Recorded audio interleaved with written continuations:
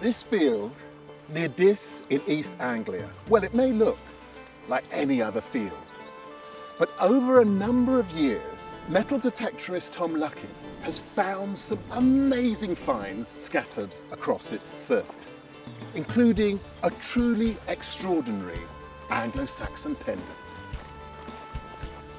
And it was found in the grave of a high status female burial excavated by Helen back in 2015. The excavation left some unanswered questions. Who was this Anglo-Saxon lady? Why was she buried here? And were there other burials in this landscape? And Helen has brought Time Team back to this fascinating site to see if we can find answers to any of these questions. And of course, we've got just three days to do it.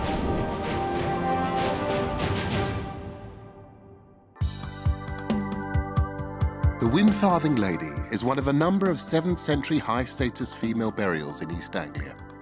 It's not far from Sutton Hoo, where the famous ship burial was found, packed with treasures.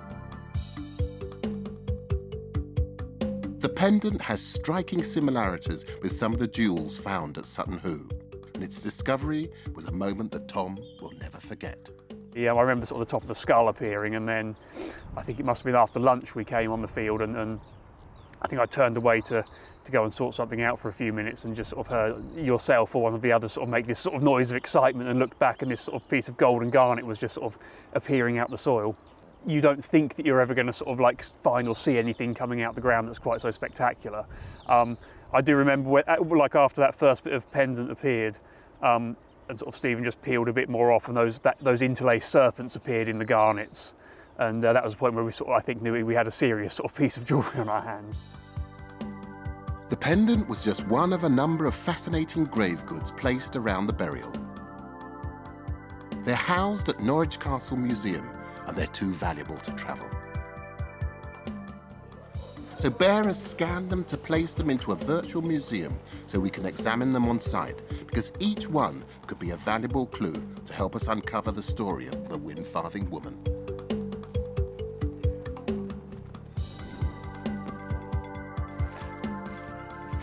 Helen, this is a site of some national importance. Well, certainly the, the pendant that she was wearing, which was an immense surprise, but it's an immense pendant, is, is of international importance. It's important on a European scale. Wow. And, and it's an extraordinary object that is going to be in exhibitions, in travelling exhibitions, going to be lent everywhere for, for decades. Everybody's going to know the Winfarthing pendant. And she wasn't found on her own, is that No, correct? she wasn't. That's right. And that's where Joe comes in. Joe Caruth, who's an old friend of mine, who is uh, probably the best um, early Anglo-Saxon cemetery uh, excavator. So, Joe, what can we expect from this site? Well, the first thing that I'm interested in is is actually um, looking at this grave again. So you can see from what um, we can see on this plan here that they only excavated um, a little bit beyond the actual grave pit itself. Now, one of the first things I'd be interested in looking at is um, you would expect, or you might expect, with a burial of this kind of status, that she would have been covered with a mound in order to make her stand out amongst all the other burials. So, the first thing I'd like to do, I think it would be great to open up a much bigger area and see if we can find evidence of that mound, which we might see as a ring ditch going round. I might expect it to be about four metres across, probably, would be about sort of typical for, um, for the period. So that's something I think would be really interesting to look definitely. at. Um, and then we can see whether, what, I mean, we might see whether that ring ditch was cut through other burials, so that whether she's actually imposed onto an earlier cemetery or whether she's in a space of her own and we can see how, you know, how she lies in relation to other burials. And how are we going to relocate it? uh, we've got a problem. And the problem is the trench was recorded with a handheld GPS, not a sophisticated GPS. So we don't actually know where the burial is, except for being approximately within an area. So the only thing we can try to find is the disturbance from the excavation.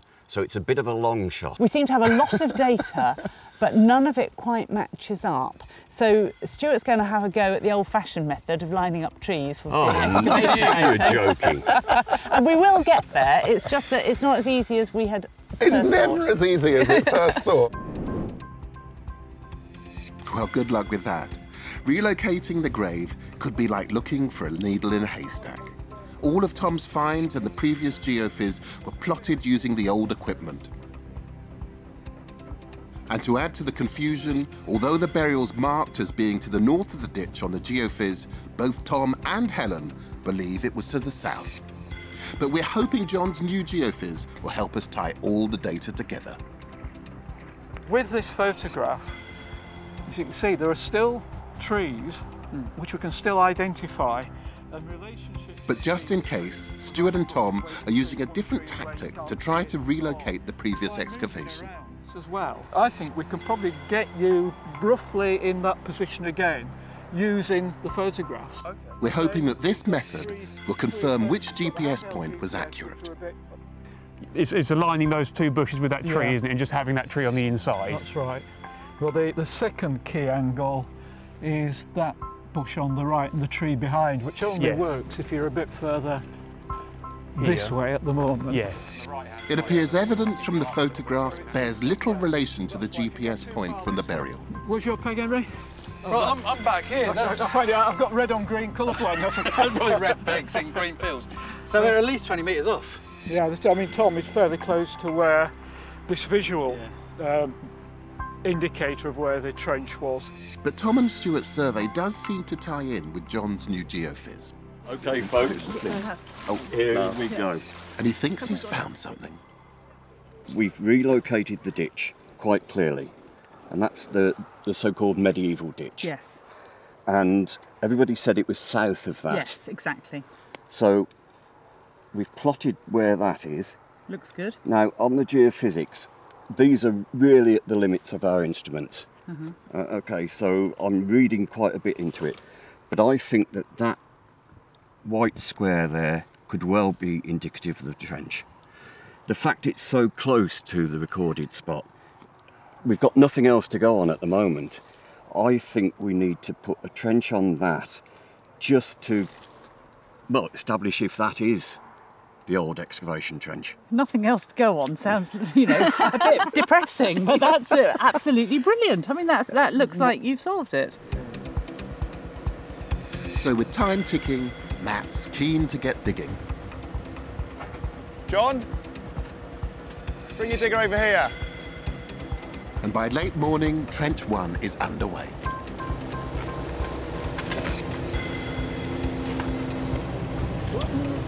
Too dry, which is good. Yeah, that's actually not so bad, is it? No, I thought it might not. break up loads. No, no, were it's Look at got- that, it's that's got quite nice, enough- isn't it? It's got enough sort of Yeah. crumble in it, hasn't it? To... Can you manage that last couple of feet at the end? Our mission here is to find out as much as we can about this burial. Why was she buried here? Was she buried within a cemetery? And where might she have lived? So we're looking for signs of a 7th century settlement in Winfarthing itself. Thank you ever so much for volunteering. I'm Carenza Lewis. I'm one of the archaeologists on Time Team. And So we've enlisted the help of the local historical and archaeological societies to investigate the village of Winfarthing itself. we know that the church is broadly 13th, 14th century. It's got some earlier features, but that's only taking us back into the 11th century, perhaps at the earliest. That's all several hundred years later than the burial. So what we want to do is some excavations throughout the village to try and see if we can find any, any pottery that dates broadly the same date as the burial up on the hillside. So have we got any sort of 7th century Middle Anglo-Saxon date pottery? With the army of volunteers briefed, it's time to get digging. And we're starting our test pits close to the church. The bones of the Winfarthing lady are held at Norwich Castle Museum and are too fragile to travel to site. They've never been properly analysed, so Jackie and Naomi are going to see what they can discover from her remains and from the soil samples that were collected at the time. Oh, that's from within the bowl. Ah, right, okay. So we might need to do some flotation for both environmental and bone Artifact retrieval, collection, yeah. Because every, literally every fragment Yeah. counts, especially in this case. If enough survives, we might be able to tell how old our woman was and what sort of life she led. And although the bones have been clearly badly damaged, Jack is confident that we'll still be able to glean some useful information from them. Edge there, isn't There's there? a straight edge there, isn't there? Back on site, Matt and Joe are beginning to think that they might be in the right place. So was that the natural that the grave yeah, was cut that it was into, cut right? into, and so the, the, the cut is much cleaner and browner. Yeah. So I think looks we very need to like that, take- the grave cut, but I'm not sure what the edge of the trench would look like, and I can't see. you know, I it's still white think fleck. I think it might be good to take just a bit more off this, this end, side, yeah. but carefully because we are higher here than we are on that bit. I mean, we've got our we've got our level here, though, haven't we? Joe? but we've I'd say? definitely oh yeah, we've definitely got the level. You know, You keep, keep going, and you will either find out we're in the right place or wrong place. Where are we going to put this spoil, Joe? Shall I swing it round and chuck it behind me over there? One of the mysteries we hope to solve is why Our Lady was buried here. Because there's no known Anglo Saxon centre of importance nearby, which begs the question where did she come from? One possibility is that she came from Francia, a hugely powerful kingdom which expanded across modern day Europe during what is known as the migration period after the fall of the Roman Empire. And some of the finds support this theory. This is the plan of the grave. Let me start with the bronze bowl because that was the, the thing that allowed us to discover the grave. Um, you can see that it's, it's, it's big, it's green, this is it in the ground. Um, and this very corroded base just, uh, uh, it- just survives as corrosion really. It's only the rim that really survives. And so this would be in, it's, a, it's quite a substantial. It's quite big. Yes. It's not huge, um, and it, it's but it's not really like any other bronze bowl that we know of or brass bowl. Yes. Um, it's quite important what it's made of, so we really need to get it XRF to find out exactly what's what it's made of. That was the bowl here. Next to it is the pot, and the pot we know is a Frankish import. It's it's not like a handmade Anglo-Saxon migration period pot. It is wheel made. It's entirely different, and having this quite wide mouth means that it may have been used for for drinking. Francia was a very large, successful early medieval kingdom uh, that, unlike Britain, never lost some of those Roman uh, techniques like wheel turned pottery, mass producing wheel turned pottery. So we can instantly see that this is wheel turned. It couldn't, therefore, possibly have been made in Britain. It's an import. And although that sort of pot's fairly common in the Frankish world, it's extremely rare in Britain. Wow. So was this part of migration or trade, do you think? Well, it could, of course, have been either. So I think the fact that these pots are actually quite rare in England suggests to me it's not the sort of thing you could just buy and sell. So we know in this period from written sources that leading families in Anglo-Saxon England were sending their sons and daughters to be educated in monasteries in Francia, in the Frankish world. So could this woman, for example, have spent some of her earlier life in Francia, in a monastery there, and have brought back with her objects, ideas, ways of doing things, all sorts of things, including this pot. But I can show you something that is absolutely e- uh, Anglo-Saxon. It's this pendant. Incredible. There. Gorgeous. which is, is looking slightly different to the way that you see it with the with the naked eye, if you like, because the scanning process is actually seen through these transparent garnets and has, has allowed us to see much more of the construction than we would normally. Th- This is just the most phenomenal object um, that y- if you if you have a look round it, you can see these rings of animal ornament actually kind of made in garnet cell work or cloisonne. Here you can see an animal head made out of garnet set in gold. Um, this little tiny eye is just about half a millimetre across. Um, and with, with the, the curving body and ending up in something that looks like another head at the other end. So we've got a ring of those and then we've got an inner ring of more of them. And between the two, if I can raise it up a bit, you can see that we've got a, a raised ring of, of three-dimensional garnets in between, which is something that I have just never seen on something like this. It's absolutely phenomenal. What was it actually like seeing this come up out of the ground? So first of all, there was, we were absolutely flummoxed by the quality and the size and the fact that it was a pendant. But it was when Stephen picked it up and turned it over, hmm. that was really the heart-stopping moment. I oh, know. That is exquisite in itself. And what's really interesting is that uh, when you get something like this on a big screen, you always see something new. And Helena and I were just spotting that uh, the loop, which is also inlaid with garnets, these flat garnets here, it's actually a human face, a bearded man. Because I know these people, they probably weren't formally Christians, but are these, you could, I can see all sorts of crosses. Yes, I think you're absolutely right. It does have crosses on it. What that means in terms of Christianity and her personal views, well, what do you think, Helena?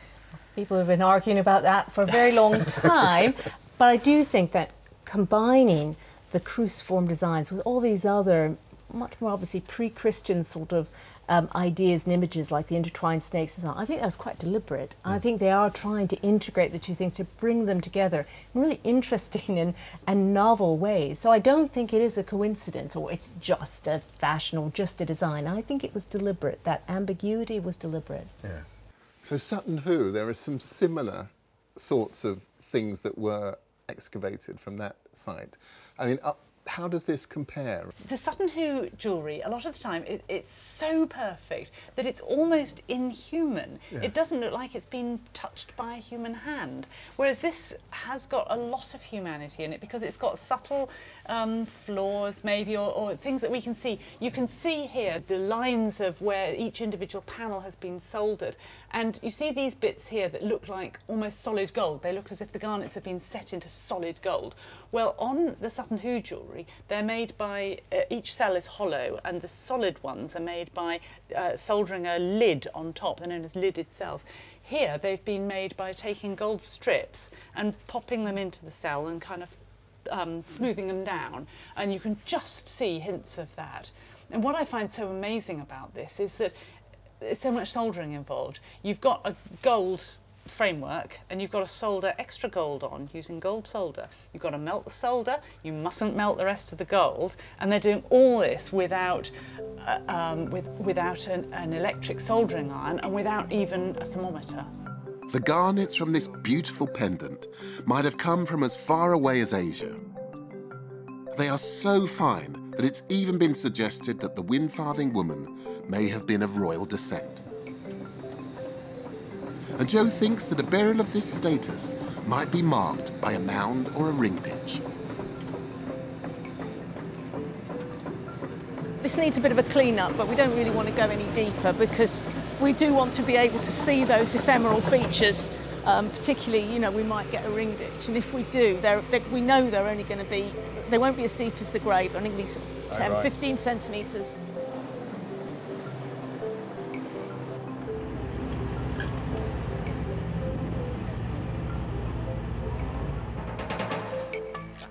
Back in Norwich Castle Museum, Jack is confirmed from the width of the pelvis that the burial is indeed female. And then we come to the chin. Ah. Lovely little, little feminine square chin at Dinky the front. chin. Tiny square chin. A, bloke, a, a male chin would be much, much broader, but this is quite rounded, but it has got that little squared bit. It's dainty. Well, they're rather like yours, actually. Look at that at Ah. the front, a little squared area there. but generally speaking, looking at this skeleton, you can mm-hmm. see it really is quite small and gracile. So it's quite, quite a petite individual, possibly not quite as petite as you, but nonetheless, quite a petite individual. So the next question is going to be how old she was. Mm-hmm. Well, looking up here, I know she's got fusion of her sutures. Those are the where the bits of the skull come together, the cranium comes together. Yeah. You've got those interdigitations that come together, Yeah, and they they, are woven. completely fused. It doesn't show up terribly well there, but you can see that little interdigitations along there, and you can see them quite well on the inside. Ah, yeah. So that's the coronal suture, the bit mm-hmm. that goes across the front here, and that's the sagittal suture, the one that goes down the, back. middle. And they are very well fused. So she's not a spring chicken. Mm-hmm. But then looking at the teeth, the teeth mm-hmm. are always very useful. And what we can see here is you've got very worn occlusal surfaces, those biting surfaces of the tooth, where the teeth come together, you can see they're almost worn flat. Mm. And also you have got exposure of the dentine. So with those things there and also some changes I can see in the spine, mm-hmm. I would say this woman is certainly over 40 years of age. Right. Potentially over 50. The other thing, again, going back to the teeth, there is not a lot of dental calculus on here. Okay. Now that's that suggests that she obviously had quite a good diet as a child. Mm-hmm. She was looked after as a child. She's managed to live into a to a fairly good old age. Yeah. For the time, Mm. um, and looking at her teeth, it doesn't look like she had a poor diet as she got older either. We're sending some of her teeth for isotope analysis, which could tell us whether the Winfarthing woman lived some of her life in Francia or whether she was born and bred more locally. And if so, did she live in the village of Winfarthing, where our test pits are well and truly up and running? Well, who better to help us answer this question than Anglo Saxon pottery expert Paul Blinkhorn? Forgot my glasses, but congratulations, you have a piece of medieval pottery. Oh, fantastic. That was made sometime, probably in the 12th or 13th century or thereabouts. Okay, it's not the biggest piece of pottery you're ever going to see, but that's definitely medieval. And it's probably locally made. There was loads of little kilns around the villages about then, but that's definitely medieval. Fantastic. Right, so that is our earliest bit so far, and only about 700 years later now, Barrow. So we're definitely heading in the right direction in Winfarthing. And back on site, we're working slowly and carefully in Trench 1, but there's no sign of Our Lady's grave. We're about to open up a second trench, where Tom thought he might have found another burial. Over the years, he's found a range of Anglo-Saxon finds in this part of the field, including some more gold pendants. It's possible Our Lady was buried in or near a high-status cemetery. Yeah, there's some bone in here. Okay. I think we got it. And it looks like we're in the right place. Oh, you've got. Oh, here, this is it then, isn't it? Oh, there we go. It looks as if they're in situ, doesn't it, from the relationship between Yeah, the I two? think, yeah, because what that is, that looks like, that's femur. That's the whole of the femur there. Right. With if, it's aligned how we would expect it to be, then you sh- it, it should be with the head at this end to the northwest. Well, that is what I'd expect. It looks to be because you see how they're diverging hmm. that way. Well, that's that's how it works. You go from your knees and it diverges out to your hips. So I think it looks like that's going to be the hip area there. The other thing that would be oh, interesting on. to try and work Oh. out is whether we can see the top end of the cut, the skull end of the cut at this end, wouldn't it? Hmm. At this height. Yeah, I mean you can see you can see how these are all old breaks, hmm. right? So you, you're going to have had the plough damage, but also it's not just the plough hitting it; it's the pressure hmm. of the machinery moving over the top, which breaks it up. We now know for sure that Our Lady's grave is not the only one in this field. And if there are any grave goods, we might be able to confirm we're looking at a second Anglo-Saxon burial, or even a cemetery. So did this site hold some special significance in the 7th century? Sam Newton is an authority on pre-Viking East Anglia and has been poring over the records in search of answers. Well, the biggest clue to the landscape is the place name, Winners Thyorthing, which gives us Win Farthing. Right. Winners Quarter Place. The fourth part is clearly a fourth part of a much broader territory. Right. And when we look at the map, what we see is how the uh, landscape used to be organised into these blocks called hundreds. It basically is an area for administrative purposes corresponding to 100 households, 100 farms, if you like. And uh, they're always distinguished by, by impressive boundary markers and, above all, the central meeting place. When we look at ours, we seem to be in what's now called Diss Hundred, but we know from earlier documents that the original name of the hundred was Win Farthing. So the whole hundred was a fourth part of a larger unit, which means that this place was the centre of authority for this whole landscape. And the next question that arises from that where are the other three quarters? So where are the other three quarters? well, we've got the magic of the map here to uh, show us, and you can see that This corresponds to a larger block subdivided into four, Winfarthing, Earsham, Hartismere and the Bishops or Hoxne Hundred. So the, the Winfarthing we know, which is just a village up there and, and a, a relatively small medieval parish, in, in the period that the la lady was living around here and being buried here, was a much larger entity. Exactly. You'd have known a different Winfarthing to what we know, presumably. Yeah, well, the whole of the landscape would have been called Winfarthing. It is at Winfarthing that the meeting place was held, which gives its name to the broader hundred. Although we only have solid evidence of these hundreds a few centuries later, if Sam's right, Winfarthing could have been the centre of influence for this whole area and could help us understand why Our Lady was buried here in the 7th century. So Stuart heads to the south and Derek and Lawrence head to the north to the village of Winfarthing to look for evidence of Anglo-Saxon activity to support the theory. As getting towards the end of day one, it's proving difficult to work out what's what in Trench 2, Well, when we dig it, if we dig it really carefully, we might find some teeth.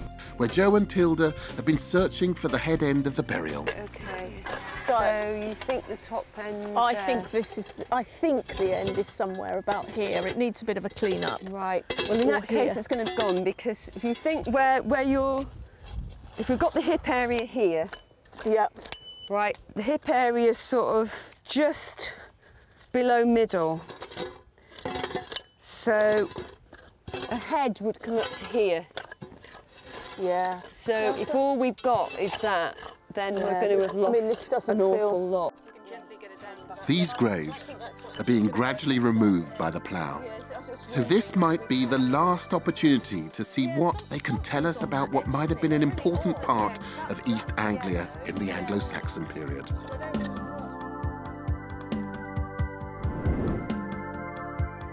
And we've just had our first Anglo-Saxon find come out of one of the test pits near the church in Winfarthing. Yeah, fantastic. So uh, this is Thetford Ware, I think I heard on the Ah, grapevine. brilliant. That's been beautiful. Two two rim sherds there. You can see that sort of edge there. It's nice they've been washed as well, and you can see they're not the same vessel because they they're kind of slightly different Mm-hmm. shapes. We've got at least a couple.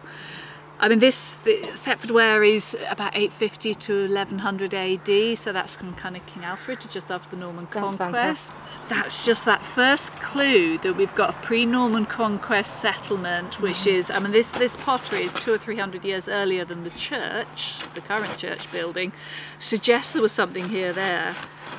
And at the moment, you're our best bet for, you know, the possibility of if there was a settlement here that's contemporary with our burial up on the hillside, that it might have been this area near the church. That's brilliant.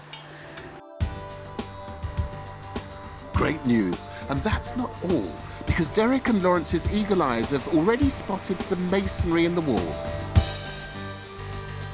that looks a lot earlier than the medieval church. Lawrence and I popped back to site and we picked up Adam's drone and he's now behind me doing a little bit of photogrammetry on the stone in the side of the church and what that'll give us is a really high density 3D model that we can run some analysis on and highlight any microtopographic features so it should highlight any carvings or engravings and help us figure out if it is an interesting stone or not. If the stone is from an earlier structure, it might be more evidence of the village's Anglo-Saxon origins. Back on site, there's still no evidence of the grave of our Winfarthing woman.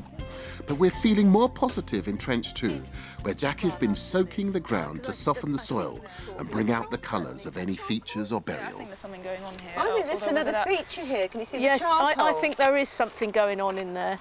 Some bones, bone in that area there. It's been a tough day, finding not a great deal, but just as the light is beginning to fade, one of the metal detectorists has discovered something in the spoil heap of Trench 2. Can I borrow your trowel? Yeah, sure. Ooh, rather special, isn't it? Wow. Oh, isn't that nice? What are we looking at? Oh my goodness. Right, okay. We're looking Oh gosh, we're looking at. I want to burst into tears. No. We're, we're looking at a 7th century buckle and it's got a slight curve to it. And if you turn it uh, on the side view, and if you turn it over, it's actually clearer here. You can see the loop and you can see the pin. And um, it's got a triangular plate that ends in a big lump there, and there's something going on here.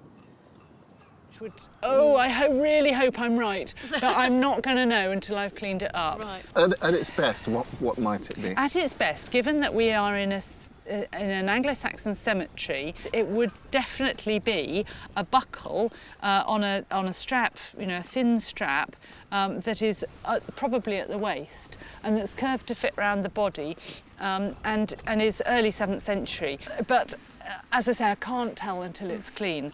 And, I- and I sense you're a little bit emotional about the what, what, why, Uh, why- well, you know, I hadn't realised quite how much pressure there is put on somebody who calls Time Team in to one of their sites and then there's not much found on day one.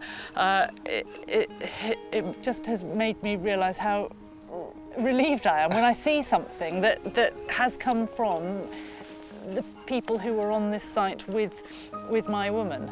It's a huge relief to have found a precious item that might even have come from the grave in Trench 2. You can see we've only got the very, very bottom of the grave. Um, it's obviously really badly plough damaged, but we can see, we can be confident that that is a grave. Yes, absolutely. Um, and those are legs going, are the feet over there, or are the... Yes, we think it's someone with the head. It's a roughly sort of northwest, southeast Yeah. aligned, and we think the head is prob was. It, we don't think it's here now. The head was probably Yes, you've just got the very, very at base this of end. But um, as you can see, it's say it's really badly damaged, and we've only got just this tiniest bit of the grave surviving, and that in itself is really frustrating because there's nothing else in this trench. Apart, apart from plough scars. Apart from plough scars, but of course this is so this is so badly damaged and so shallow. We don't know whether this is an isolated burial or this is the only one that survives. Hmm. But at least we do now have absolute concrete proof that she was not alone. Hmm. This is a fantastic end to day one. It feels like we're just beginning to reveal the story of Our Lady of Winfarthing. Although we now know she was not buried alone, we still need to find out how many others were buried alongside her. Was this an important Anglo-Saxon cemetery? In which case, why was it placed here? Two more days left to find out.